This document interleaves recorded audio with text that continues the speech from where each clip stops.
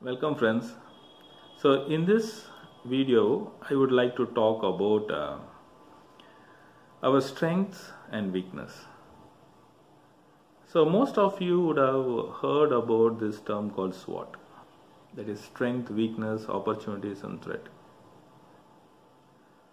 So how this is very very important. So I need to know about my strength in which I am good at. So let's say uh, I'm good at I'm good at communication. Specifically, in that communication, what I'm good at. I'm good at one-to-one communication. I'm good at making people understand what I'm saying. Also, I need to understand what are all my weaknesses.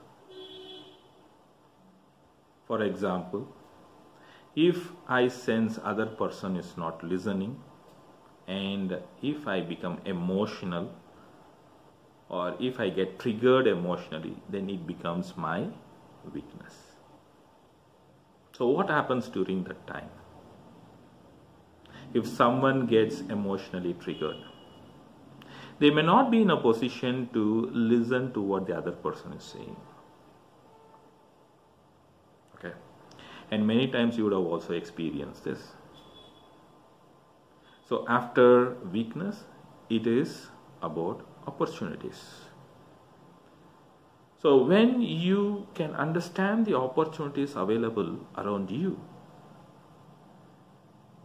while you are communicating or while you are relating, while you are talking with other person or while you are preparing for your exams or while you are uh, going through a project and there are many opportunities. And if you can open your eyes wide in the sense your internal eyes in your mind then you can look out for lots and lots of opportunities and then the fourth area is the threat threats are like you know you feel so fearful and you get stuck and you don't know what to do some people say I go blank and no, I just lost it. So these are all because of that threatening moments. Let's take an example of public speaking. So in my initial days, I know that I can communicate better and I can communicate, I can put my thoughts clearly. And the moment I went on to the stage, I was feeling so fearful and everything was becoming so dark and blank and I became so nervous and I was not having any other way, the options.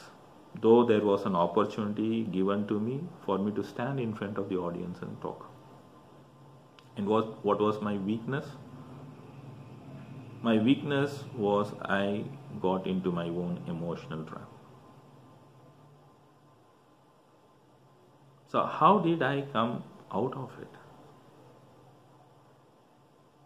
You know, I just took it out, and there was this SWOT, and I made four squares on that, and I started writing what are my strengths, what are my weaknesses, what are my threats, and what are my opportunities.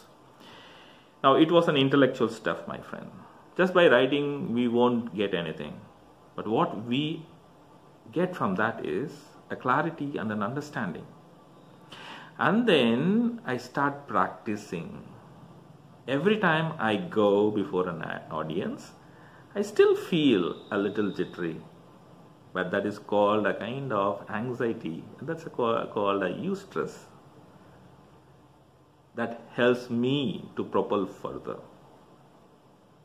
So now for you, have your SWOT over there, draw it on a sheet of strength, weakness, opportunities, and threat. And take a challenging moment and start framing it. And first, you have the clarity on that. And take action. While you take action, you will know what works better, what is not working better. By the way, you can seek help. You can mail me as well. So you can find that find my mail id there very much. Yeah. Life is so beautiful. So thank you